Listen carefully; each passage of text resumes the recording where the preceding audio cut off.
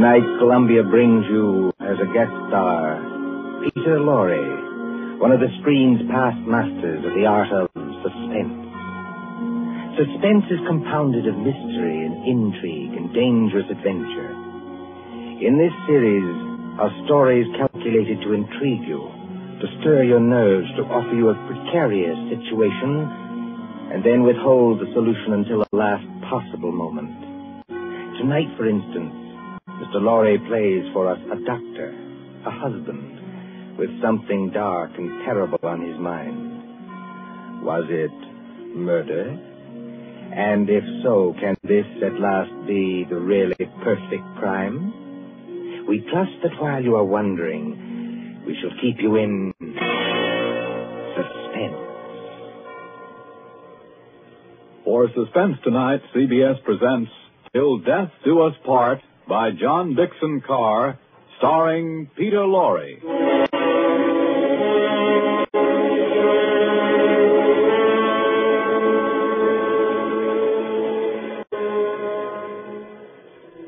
Late one night in December of 1941, a man and his wife sat beside the fire in their country cottage. This man, look at him. A professor of mathematics, stout, middle-aged, guileless as a child. in the remote corner of England where he lives with his pretty English wife, they say of him, Jolly decent fellow, you know, for a foreigner. Isn't he? Always a smile for everybody and so polite. That's why it's such a shame about his wife and that young American. There hasn't been anything between them yet, I'm almost sure. But if the American stays here much longer.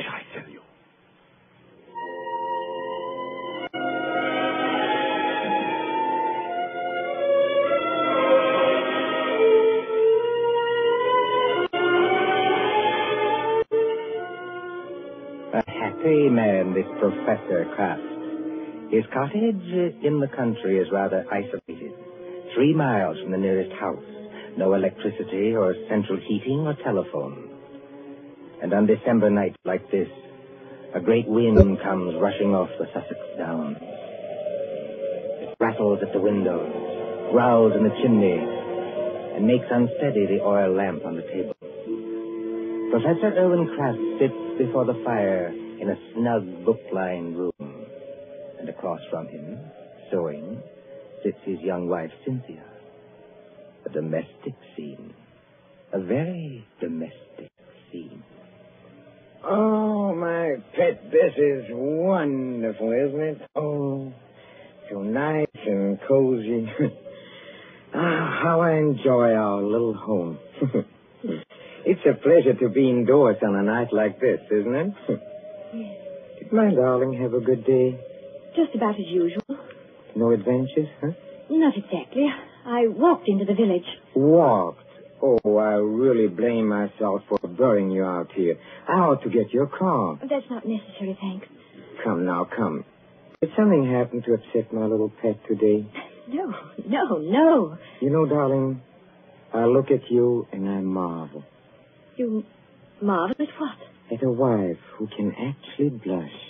Yes, with a skin so fair and a conscience so transparent that she can actually blush. I wasn't blushing about About what? about anything you might be thinking. it's your horrible habit of putting everybody else in the wrong. Oh, but the neighbors don't think that about Papa Kraft.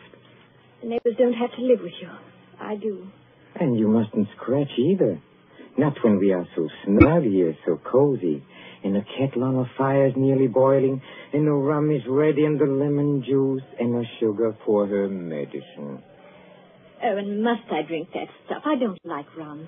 But you have a cold, darling. I haven't got a cold. Really, I haven't. Now, darling, twice today I heard your cough. Uh, you are going to take your medicine, Cynthia, and take it here and now, and not offend your clumsy old husband by refusing. Why do you keep on treating me like a girl of 16? I love to treat you like that, Cynthia, because, uh, because I cannot fathom your thoughts. You lock up your thoughts. And that is a dangerous English habit. You see, thoughts accumulate and won't be stifled. And sooner or later, when you least expect it, Look out, the kettle's boiling over. so it is. Oh, and please lift it down from there. Of course, of I apologize. I apologize, my darling. There. For a second, you know, you almost frightened me. Huh? Hmm? I frightened you? I suppose it's foolish. Well, here we are, my dear. Here we are. Now, see, I put two tumblers on the coffee table. And now, a spoon in each so that the heat doesn't crack them. Oh, dear, must you give me so much rum? Can't I have the small one? But we have to cure that cold of yours, Cynthia. now comes the lemon juice. Yes. And now comes hot water to the top. Here we are. And two lumps of sugar for each of us. There you are, darling. Now let's drink up, huh? Owen, listen. I didn't hear anything. I did. It it came from that cupboard over there. It sounded like your accordion. Oh, that's nonsense, darling. That's nonsense. There. There it is again. Well, that's only the wind. Or, or perhaps a rat that got into the cupboard. Owen, I'm terrified of rats. Go and kill it, would you mind? Oh, you really sit very heavy labors, my sweet, for one of my weight. Well, well, if you insist, all right, all right. Well, I'll take a good heavy poker from the fireplace. And, of course, it means a little trip through the cupboard. Owen, uh, never mind. You haven't changed your mind, have you? It'd probably run out across the floor. Come back. Wouldn't run very far, I'm sure. Well, again, if you insist. I can't think what's the matter with me tonight. No? No, You're sure nothing upset you in the village today, huh? certainly not. How about uh, this young American, that uh, fledgling doctor? What's his name? You mean Dr. Craig? That's it, Dr. Craig. Dr. Craig. Didn't someone say he was leaving today for London and, and then back to the States? I believe so. That's what Lady Randolph told me. And you didn't say goodbye to him? Certainly not. Well, that wasn't kind of you, darling. That wasn't friendly. What's the matter? Don't you like my nice hot rum drink? No. But you'll give me no peace till I do drink it. That's right, darling. That's right. Now, take it down like a good girl. I'm keeping you company. See? Oh, how pretty she looks. With her yellow hair in the firelight. And her red mouth. And her light little hands. Very pretty. Oh, uh, there is just one other thing, Cynthia. I, I gave you a letter to post this afternoon. Did you post it?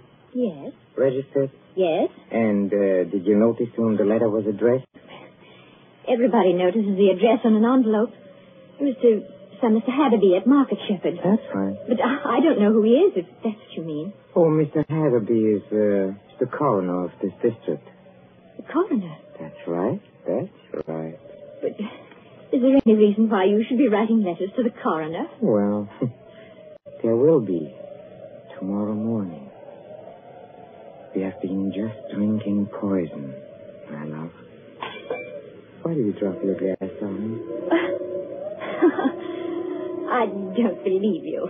No? uh, this would interest you, Cynthia. You were a trained nurse, and weren't you, uh...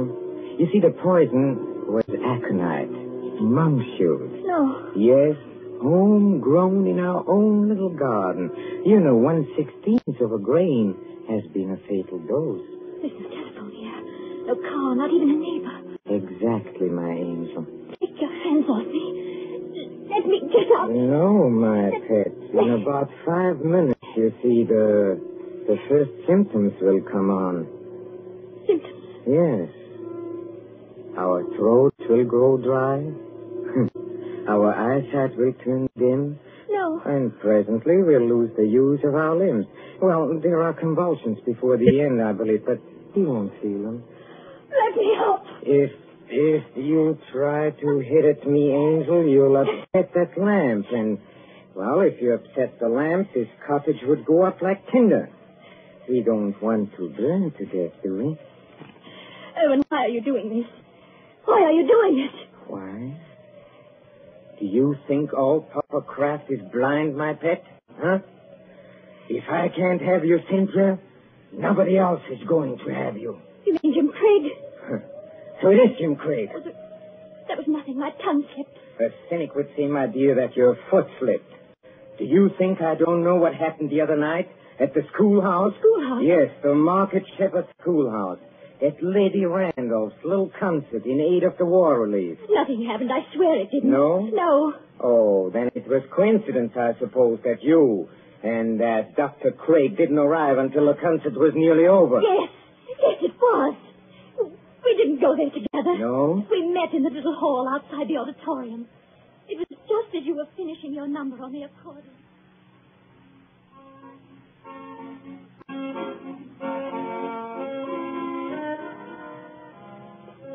Oh, I beg your pardon. Oh. It's so dark here I almost bumped into you.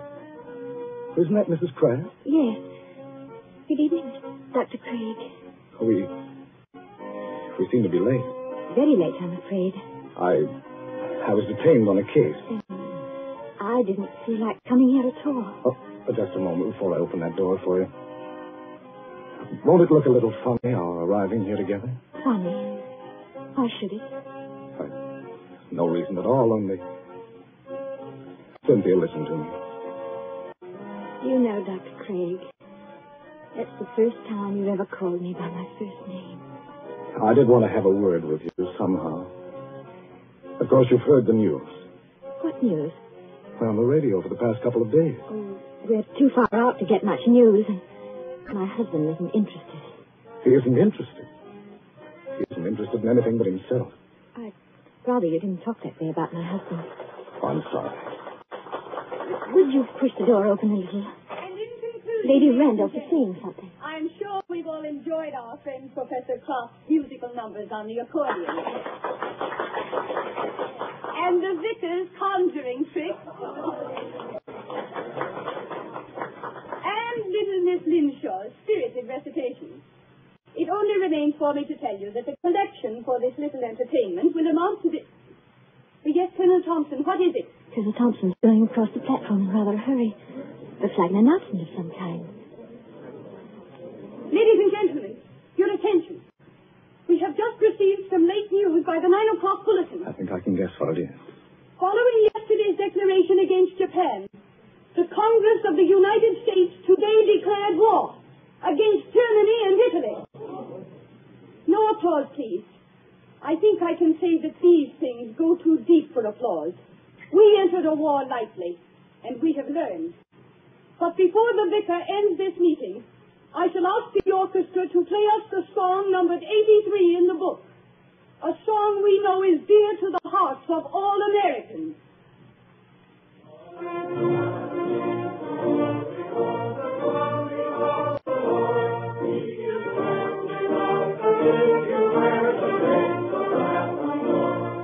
Close the door, Cynthia. Jim, this doesn't affect you. Naturally, it does. Won't be leaving England. Probably in a very short time. They'll be needing doctors. But does a formal declaration of war make any difference? What does it mean to you? What does it mean? I can't explain it, Cynthia. It's all in that song. If they're going to need me, I'll go back. But can't you do just as much good here in England? I don't know.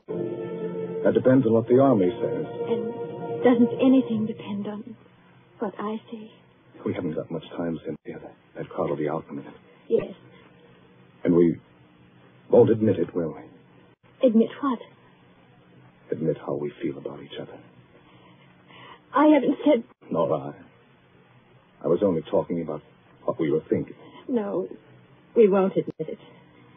You say you can't explain about the war. I can't explain about this.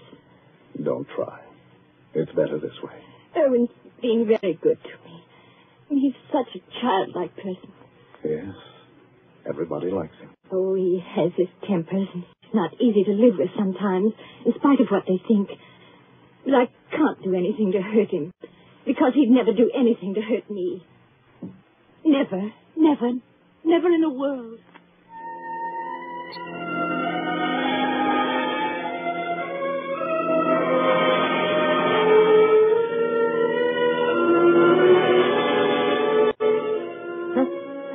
A very fair estimate of my character, too. That's exactly what I said about you. So you are in love with that fellow. I admit it now. Yes. Tell me, darling, do you feel anything yet? Feel anything? I mean, uh, dryness? Muscular contraction of the throat? Yes. Oh, I thought so. I won't die. And, I won't. And how do you propose to stop yourself? Your only chance would be to reach the village infirmary. And I'll see to it that you don't get there. But what if the poison takes you before it takes me? Then you can't stop me. But it won't, darling. You seem terribly sure of that. You see, the amount I gave you, as you perhaps noticed, was more than I gave myself. I'm going to follow you, my little pet, into the dark, where there are no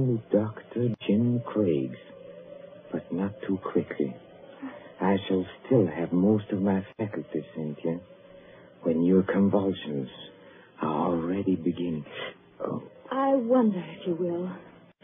what is it, eh? Your legs don't seem any too steady. Ah, I don't know. It must be the heat of uh, the fire, perhaps, or it's very hot in this room. Cynthia, Cynthia, darling, listen to me. Yes, Erwin. There, there is a copy of uh, of Taylor's medical jurisprudence on the there over on the shelf there. Please, uh, please get it for me. I'm afraid you'll have to get it for yourself, my dear. That is, if you can. Oh, uh, I'll get it. Oh. Mind the lamp, Irwin. We don't want the house afire, just as you said yourself. I'll mind the lamp. Uh, listen to me. You know, some people's systems aren't tolerant to poisons. They, they experience in minutes what ought to take hours. Does it hurt, Erwin? Does it hurt? Ah, yes. But you'll find out soon enough, my pet. Because, because you'll never make three miles to the village. Never. You think not? I know it. And, and just remember, I, I shall be waiting Waiting. out in the dark and cold, where there is neither marriage nor giving in in marriage. I'll be waiting for my little pet to come and join me. I, I shall be waiting. Erwin. Erwin. Oh. I hate you. I loathe you. I'm afraid of you. But I don't want you to die because of me.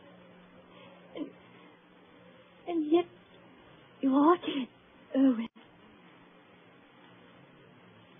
But I'm not going to join you.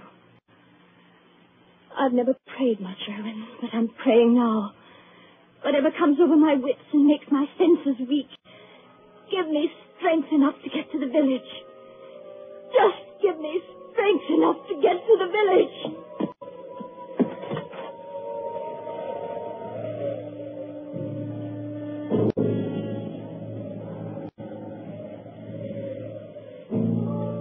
An empty room now, except for the motionless figure by the fire. The great wind enters through an open front door and makes the lamp shake dangerously on the tables.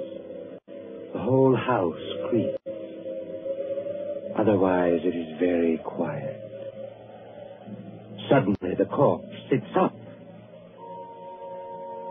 Professor Kraft looks pleased, doesn't he? Very pleased. Very alert. as he moves over to a certain cupboard door. well, and now I think the real fun can begin. patience, patience, patience, my friend, while I open the cupboard door. well, there we are. I hope you haven't been too uncomfortable, Dr. James Craig. Oh, I'm all right, thanks. So you managed to get the gag out of your mouth, huh? I managed it, yes, just now. I'm too late. Well, you are still securely tied up, I'm glad to say. You know, you gave me several very, very unpleasant moments, young man, when you when you got your foot on that accordion. Did I? Well, Cynthia thought you were a rat and wanted me to kill you.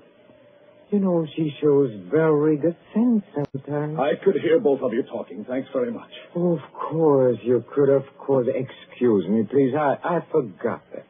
Yes, and I could see you, too, through a crack in the door. Well, you were intended to see us. But now, come on. First of all, I'll drag you out of here. Yes, now, let me take you. Here. Now we can sit down and have a nice, cozy little chat. Huh? How much aconite did you give Cynthia? How much?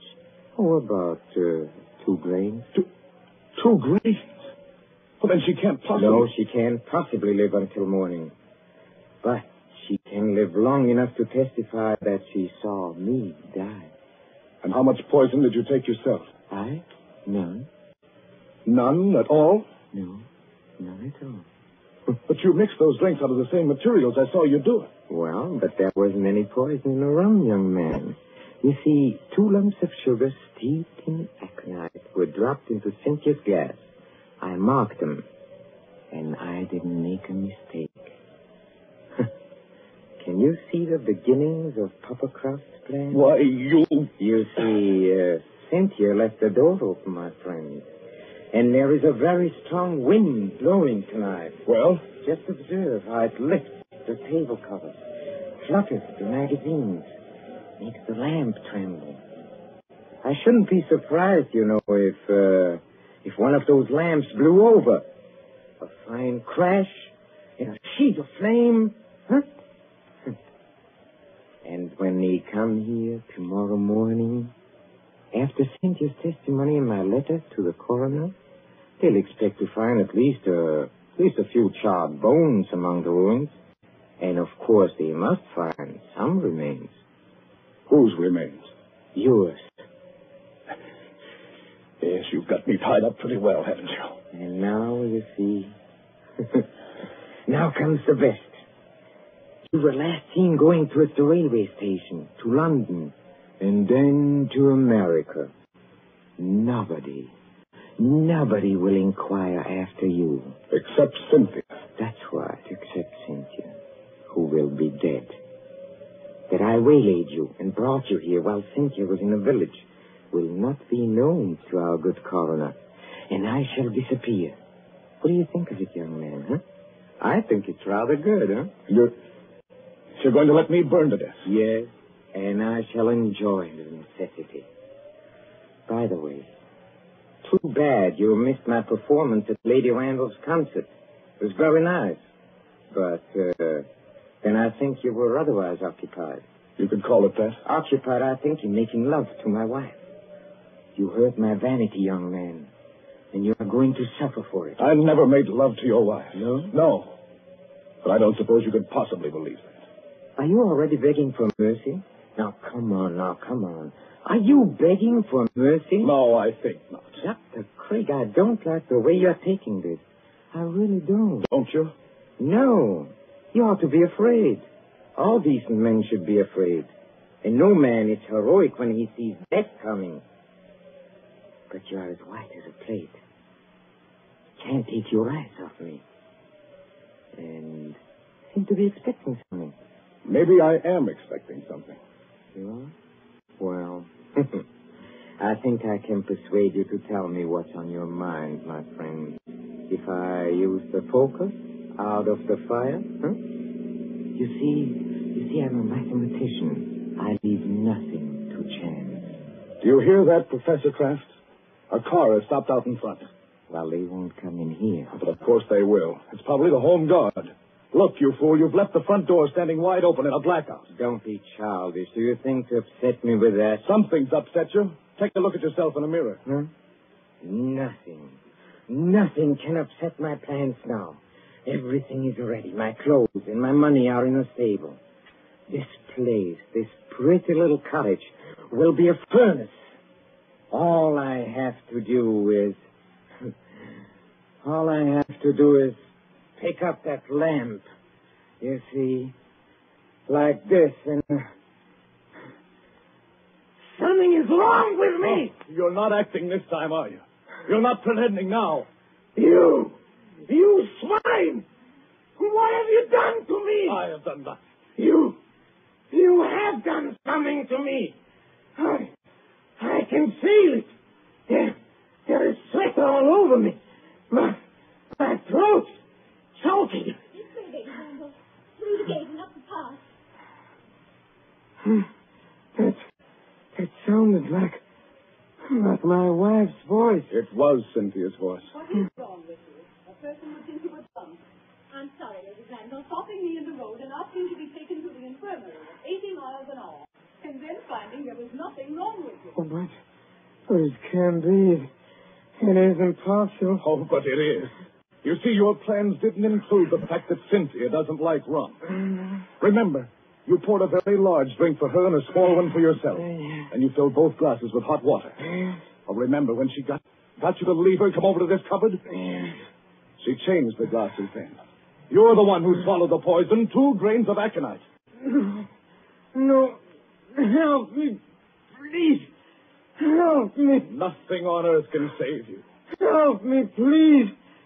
In the name of please, please, please help me. Nothing on earth can save you. Please.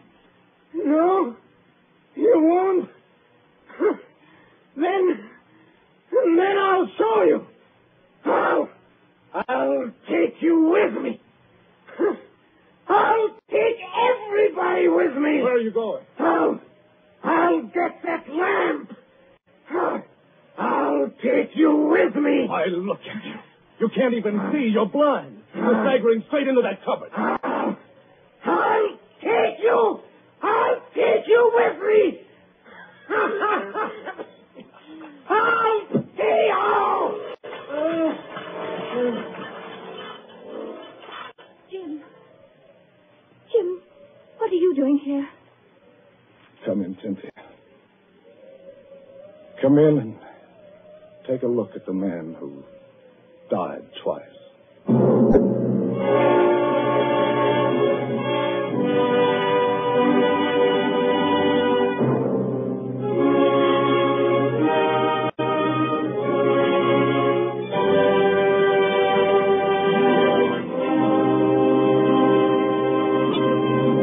And so ends Till Death Do Us Part, starring Peter Lorre.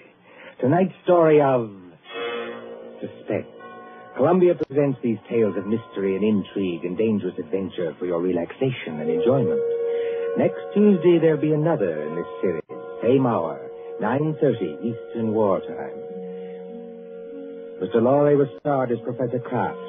He was supported by Alice Frost as Cynthia, David Gothard as Dr. Craig, and Mercedes McCambridge as Lady Randolph. William Spier, the producer, John Dietz, the director, Bernard Herrmann, the composer, conductor, and John Dickson Carr, the author, are collaborators on Suspense. This is the Columbia Broadcasting System.